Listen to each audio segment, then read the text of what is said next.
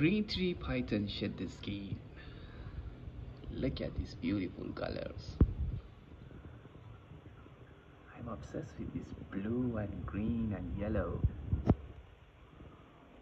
That's so cute. And look at this black tail. You're adorable. Hi GTP.